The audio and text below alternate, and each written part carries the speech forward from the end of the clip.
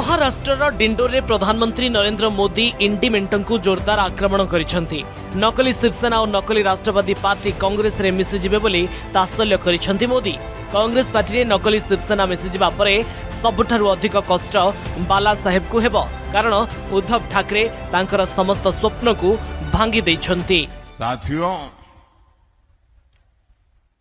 ये नकली शिवसेना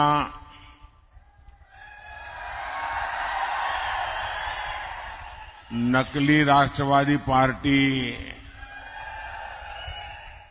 इसका कांग्रेस में विलय होना पक्का है।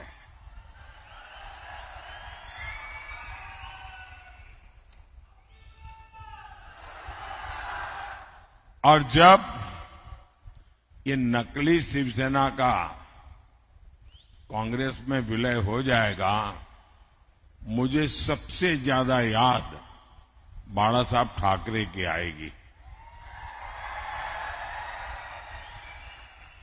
क्योंकि बाला साहब जी कहते थे, जिस दिन लगा कि शिवसेना कांग्रेस बन गई है, उस दिन शिवसेना समाप्त कर दूँगा।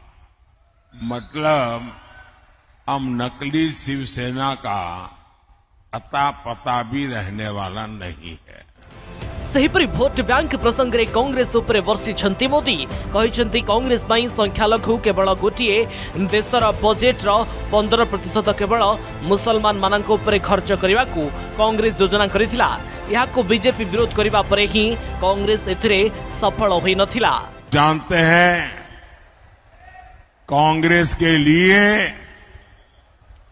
माइनॉरिटी सिर्फ़ एक ही है। उसका अपना प्रिय वोट बैंक। मुझे याद है, उस समय मैं सीएम था,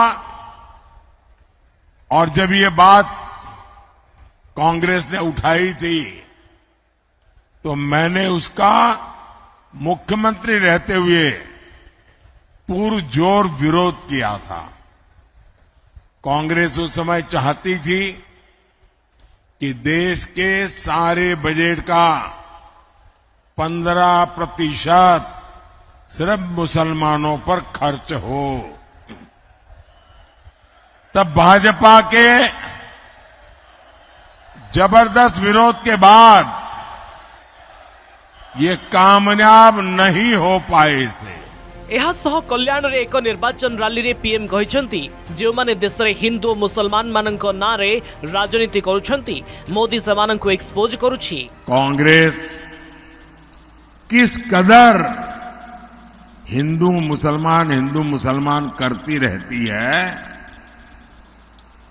और मैं लगातार इसको एक्सपोज करता हूं और जब मैं इनकी ये सारी बेईमानी बाहर लाता हूं तो इनको जो इकोसिस्टम है वो वो चिल्लाने लगता है बोले मोदी हिंदू मुसलमान लाए अरे मोदी तो ये जो हिंदू मुसलमान के नाम पर देश को तोड़ने वाले लोग हैं ना उनका कच्चा चिट्ठा खोल रहा है ମହାରାଷ୍ଟ୍ରରେ ନିର୍ବାଚନୀ ସଭାବେଳେ ମୋଦି ଦେଶର ଯୁବପିଢ଼ିଙ୍କୁ ବିକଶିତ ଭାରତର ବଡ଼ ଭୂମିକା ନେବାକୁ ଆହ୍ୱାନ କରିଛନ୍ତି bureau report Argus news Mobile phone ଓ ସାଙ୍ଗସାଥୀ। ଆପଣଙ୍କ ପିଲାଟିର ପାଠପଢା ଓ କ୍ୟାରିୟରକୁ ପ୍ରଭାବିତ କରୁଛି କି? ଆପଣ ସେଥିପାଇଁ ବିବ୍ରତ କି? ତେବେ ଆଜି ହିଁ ଆସନ୍ତୁ। ଆପଣ ଚାହୁଁଥିବା ମନ ଲାଗି ସମ୍ପୂର୍ଣ୍ଣ ଆବାସିକ ସ୍କୁଲ।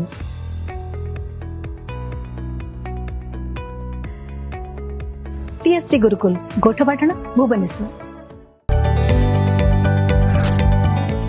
ଯଦି ଆପଣଙ୍କୁ ଆମ ଭିଡ଼ିଓଟି ଭଲ ଲାଗିଲା ତେବେ ଆମ ଚ୍ୟାନେଲକୁ ଲାଇକ୍ ସେୟାର ଓ ସବସ୍କ୍ରାଇବ୍ କରିବାକୁ ଜମା ବି ଭୁଲନ୍ତୁ ନାହିଁ।